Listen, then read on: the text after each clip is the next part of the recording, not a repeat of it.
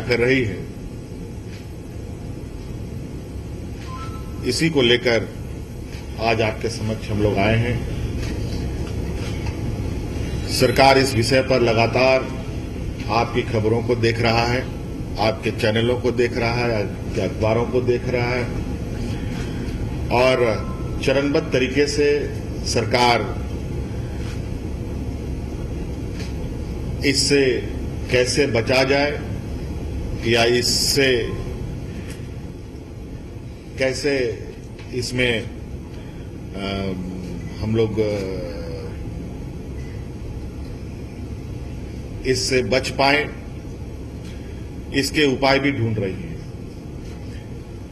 कुछ दिन पहले ही आपको मालूम है सरकार के द्वारा सरकार गठन होने के साथ ही राज्य के प्रखंड मुख्यालयों में, पंचायतों में सरकार आपके द्वार का कार्यक्रम चल रहा था और बड़े पैमाने पर पूरे राज्य में गोष्ठियाँ आयोजित हो रही थी। उसको हम लोगों ने बंद कर दिया था। उसके उपरांत फिर खबरें आ रही हैं कि आसपास के राज्य में भी ये वायरस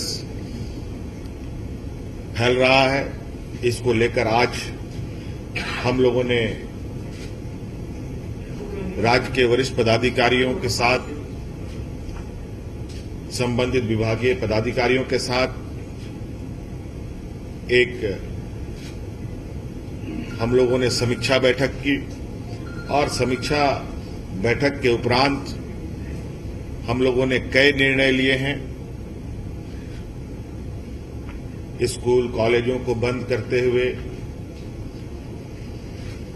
जहाँ अधिक से अधिक लोग का लोग इकट्ठे होते हैं, उनको 14 अप्रैल तक के लिए बंद करने का निर्णय लिया गया है। कई जगह पर जो प्राइवेट संस्थानें हैं, उस पर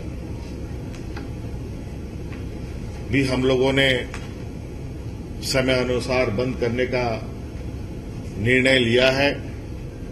उन संस्थाओं को भी आदेश निर्गत होगा, आदेश दिया जाएगा।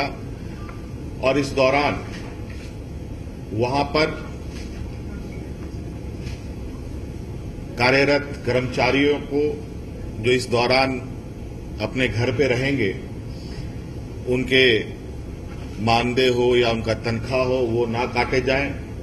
ये भी निर्देश उन प्रतिष्ठानों को दिया जाएगा ताकि नौकरी खोने का डर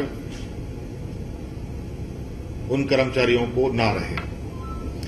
साथ साथ में राज्य में इस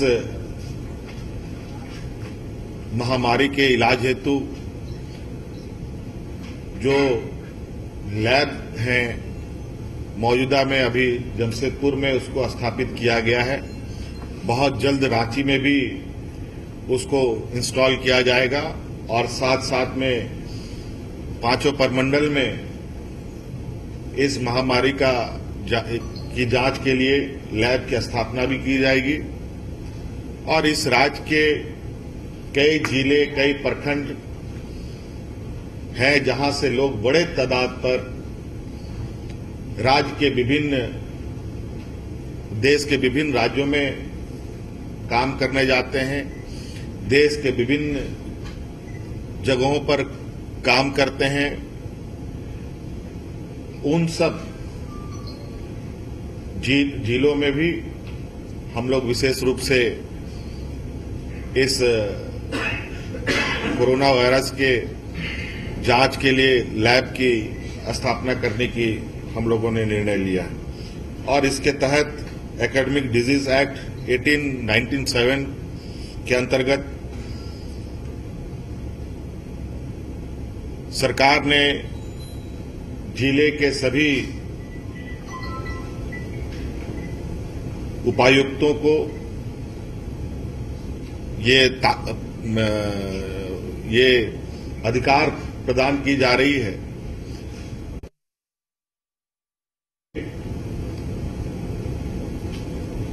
आप हर संभव तैयार रहें और इसके लिए अगर उनको कोई शक्ति उपयोग करने की ज़रूरत पड़े तो वो भी उपयोग कर सकते हैं, क्योंकि कभी कभी बहुत सारे लोग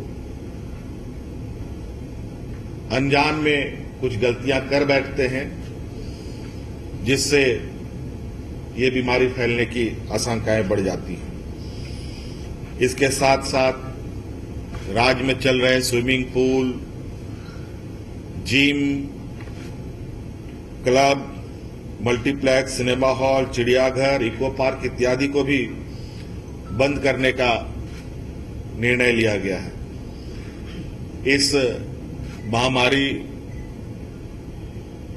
में हम लोगों ने 300 चिकित्सकों पारामेडिकल स्टाफों को ट्रेंड किया है और 20 मार्च तक सभी जिलों में आवश्यक संसाधनों का भी और कर्मियों का भी हम लोग उपलब्ध करा पाने में सक्षम हो जाएँगे और इस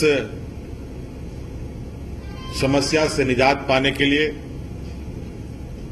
सरकार ने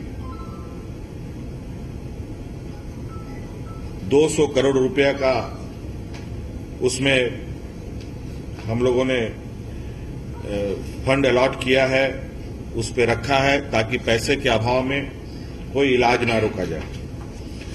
इसके अलावा कई सारे चीज़ें हैं। बस पड़ाव की बात है और रेलवे स्टेशन वगैरह की बहुत सारी चीज़ें हैं। ये मूल रूप से हमने आपको बता दिया है। और बाकी चीज़ें हमारे पदाधिकारी इस संदर्भ में विस्तृत रूप में आपको जानकारी देंगे। धन्यवाद।